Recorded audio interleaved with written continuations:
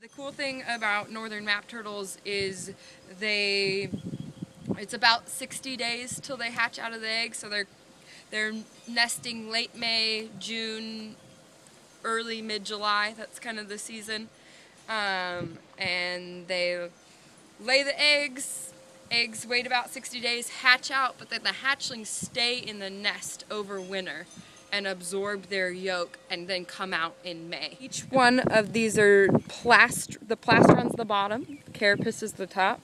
Each one of these plastral scutes has an individual number and they'll be given a tag and get an individual mark. We've found from our studies that the adult males and females are not passively moved downriver by the high flows. We have no idea because we've never been able to tag the hatchlings what happened. So by using this new technique of giving them their little tattoo on their belly and giving them an individual mark, we recapture them later down the road. We'll be able to look at if they were passively moved. From afar, enjoy them, come watch them, but they are super wary and they're not going to be able to complete what they're trying to do if they feel disturbed. So I think it's great. I want people to be a part of this. We want people to be educated about what's going on here. We also want people to be respectful of that they're using town and come down, look at them from afar, bring binoculars, but leave them alone. And they are state listed, so it would